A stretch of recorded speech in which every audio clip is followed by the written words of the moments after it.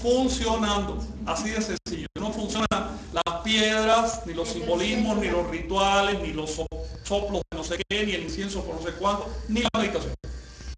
¿Ok? Si tú no, te, no le entras a la función, la función no se desarrolla. Y si le entras, se desarrolla como un músculo, se desarrolla de forma natural. Si el desarrollo de los chakras te produce el sentimiento de que estás por o que estás en algo especial, un grupo, entonces se están atrofiando. Porque el desarrollo de los cuellos no es más que integrarse a las relaciones universales. De ninguna manera abstraerse o salirse de esa relación. Por ejemplo, usa tus funciones sexuales. En este sentido de cruzado, los amor libre. Amor libre. Empieza por ahí la libertad. Sin eso no hay libertad. Lo cual no significa amor irresponsable. Y tampoco significa amor en el sentido fino de la palabra. Significa sexualidad.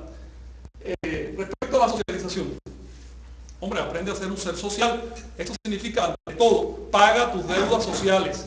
Si recibiste, por ejemplo, esa, ese camiseta que has puesto, las gafas que usas, la lengua que usas, la libreta, nada de eso lo hiciste tú, lo recibiste de otro.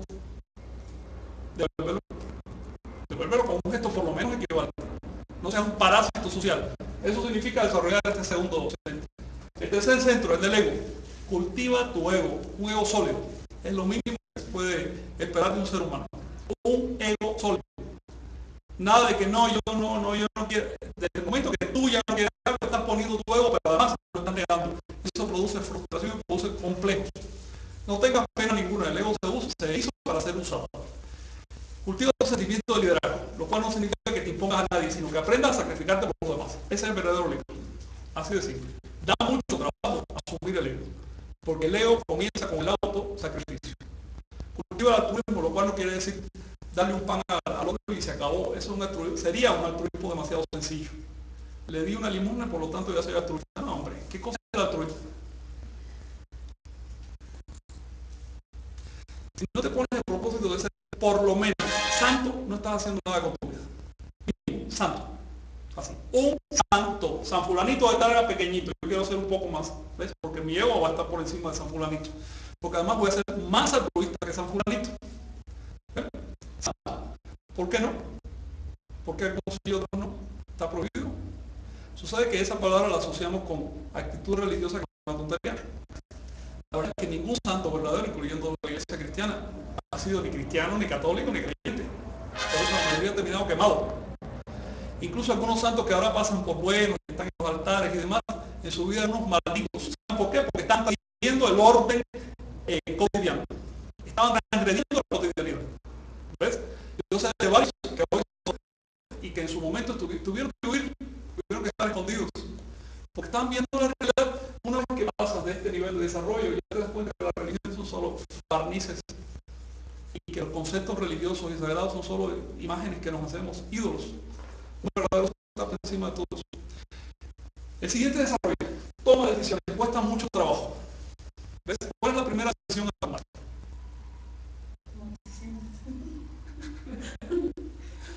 El acto de tomar la decisión ya refuerza la toma de decisiones. La primera decisión práctica, digamos, que uno debe tomar, en cuanto se da cuenta uno de que puede hacer, es ensoñar. Eso es lo básico. Toma decisiones significa voy a soñar porque voy a soñar pero voy a Voy a romper ese velo que me obliga a ver las cosas como objetos materiales y no como energía en fluidez. Si ves el mundo como energía, rompes la ilusión de la vigilia. De hecho, paradójicamente, y por eso estamos hablando de sueño, paradójicamente, eh, cuando empiezas a soñar, desaparece la palabra despertar. La palabra despertar solo es pertinente para la gente que está dormida. Pero cuando te das cuenta de tu sueño, ya la palabra no es tan pertinente. Resulta que ya no hay una experiencia como la que yo quiero. Yo no quiero despertar en el sentido habitual de la palabra. Yo quiero controlar mi sueño. Ser dueño de mi sueño. Y si me doy cuenta de que lo que se llama ordinariamente vigilia no es más que un sueño especializado, yo soy, quiero también ser dueño de mi vigilia donde yo voluntad. Me asocio un poco con la voz, ¿no? con la palabra. Y me quedé pensando en qué palabra ibas a decir que iba a resonar eternamente. No, hablé de una sílaba, no una palabra. Bueno, pero me acordé de Chilambalam o Fútbol Bucana, que se emitió un sonido. Un sonido. Y ese sonido creó al mundo, ¿no? Algo, no sí, las dicen eso. Finalmente, el verbo como autoridad es sinónimo de una toma de decisión. Y es lo que creamos. Al mundo lo creamos todo con nuestro significado que compartimos. ¿eh? Y con eso creamos música. Literal. Eh, en el momento que sales de esa cadena, el mundo se desestructura. Ves las cosas como lo que realmente son y no hay nada, no hay una palabra ahí para describir lo que está viendo. Eso es muy fácil de producir. Te puedes poner a meditar. Por ejemplo, si dices, no voy a comer. Hasta que vea eso, lo ves. O no voy a comer hasta que sueñe. Si sueñe. Es simplemente decidirse, tomar decisiones. Eh, respecto al centro trascendente, yo no quiero hablar. Porque le damos ese nombre porque está más allá de la eh, capacidad humana.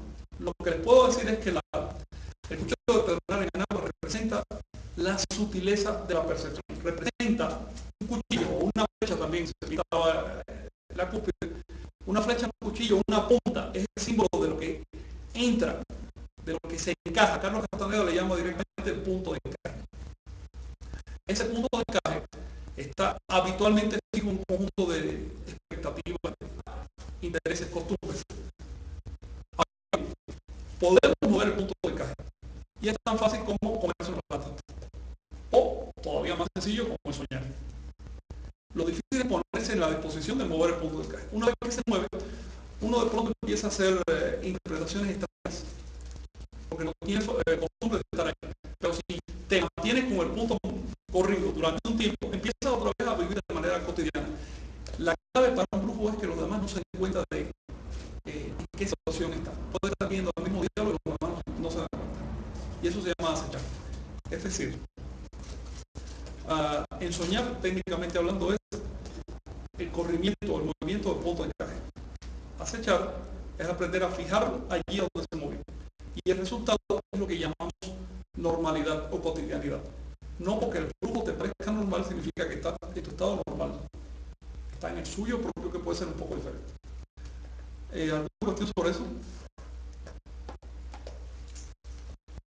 Hay una fibra donde está el cuerpo el cuerpo humano todos los símbolos. Sí. Es también. Es simbólico. Recuerda que estaba aludiendo al calendario. Y el calendario finalmente es una codificación que se hace del paso del tiempo y el cuerpo humano está en Entonces, el calendario representa la totalidad de las relaciones universales. Y se relaciona con el cuerpo porque el cuerpo es un símbolo. Es el símbolo primario que tenemos en sueño compartido. Eh, compartimos todos tener un cuerpo.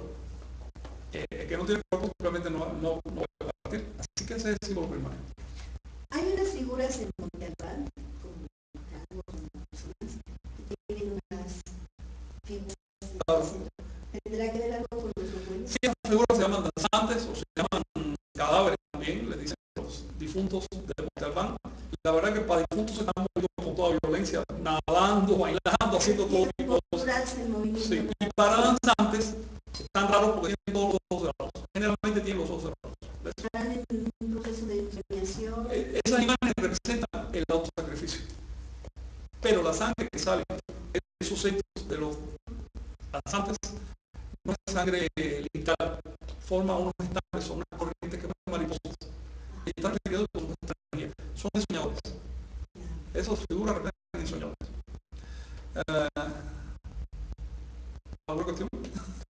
Sí, también, eh, por ejemplo, en las láminas que después de, los signos están en torno al cuerpo humano, eh, podemos ver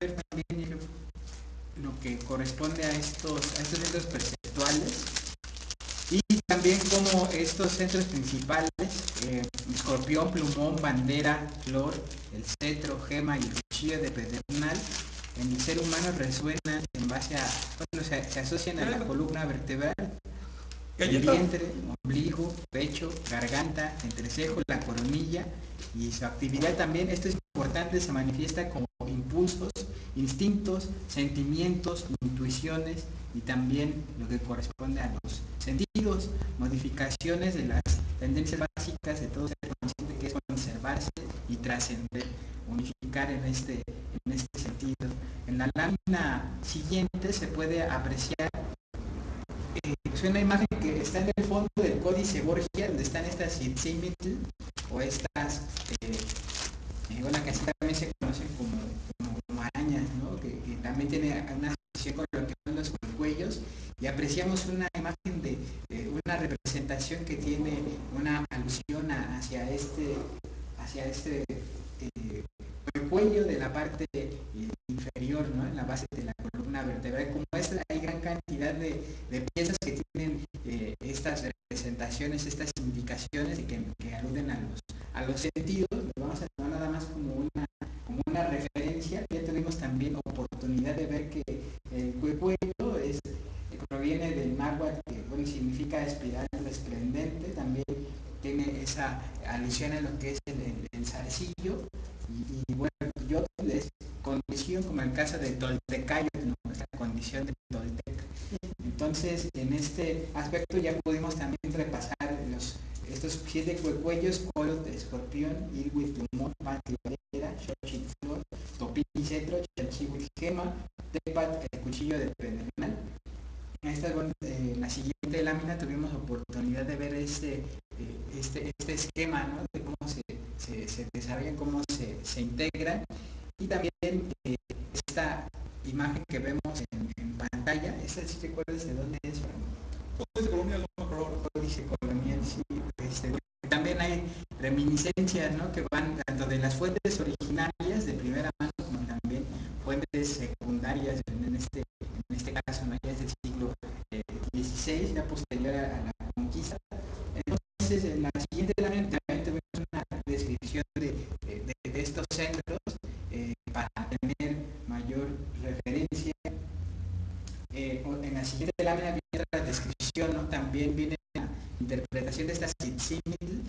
En la, en la lámina que está a la, a la derecha, pues también se puede apreciar que está en esta consecución de, eh, de, de, centros, pero también vienen otros dos más en la parte Son superior. polaridades, uno es la luna y otro es el sol sus animales nahuales, que son este, uh, significa que esos centros tiene una polaridad en sí. También por eso la cuerda que nos enlaza es una cuerda, es doble, son dos celdas Eso es muy importante, pero de hecho es triple. Allí en el Quilán Balance dice que son eh, tres figuras que bajan desde lo profundo del pozo y van hasta el techo de la casa. Es decimos lo que usa Pero eso sería para, para otro momento. Sí, yo creo que la siguiente lámina podemos ver lo que es la evolución de la conciencia. Creo que esto nos da un buen parámetro para eh, bueno, dar causa y terminar. Vamos a, a, dar lectura, porque creo que es, importante y responde también a varias de las, de las preguntas. Evolución de la conciencia. Si toda forma de conducción de la atención, sea por comando natural o deliberado, sirve a la evolución de la conciencia. La evolución de la conciencia tiene tres grados. Reconocimiento del medio, de sí mismo y el nahual. Aquellas entidades conscientes que no se reconocen a sí mismas se ven forzadas a aceptar las sugestiones del medio, siguiendo un curso evolutivo basado en el accidente. Aquellas entidades que se reconocen a sí mismas como manifestaciones particulares de la energía son capaces de enjuiciar y modificar el medio a conveniencia, orientando el curso de su evolución. Aquellas entidades que se reconocen como energía son capaces de liberarse de toda su gestión externa y de construir su propio medio, redirigiendo su curso evolutivo al estado de conciencia de Nahual. El proceso evolutivo tiene tres fases, tres fases perdón, polarización de la energía, síntesis las polaridades y salto de orden. La energía se polariza cuando surge